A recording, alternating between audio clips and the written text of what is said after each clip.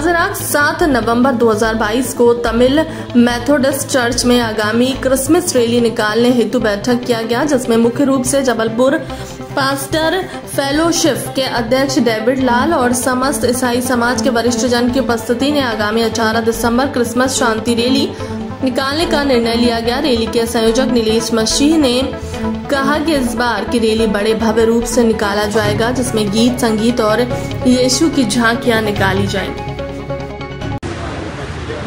आज जबलपुर शहर के सब ईसाई चर्चेस के पासवानों की मीटिंग हुई। उसमें आने वाले महीने में होने वाले क्रिसमस महोत्सव के विषय में चर्चा की गई है।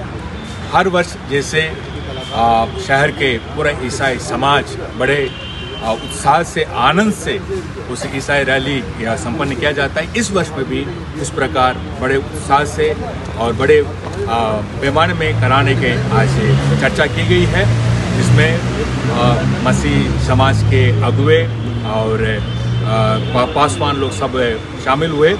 और हर वर्ष जैसे हम करते हैं बड़े शांति के साथ बड़े अठारह दिसंबर को उस रैली होगा। और उस दे- उस दिन में हम पूरे शहर को हम शांति का समाचार देंगे।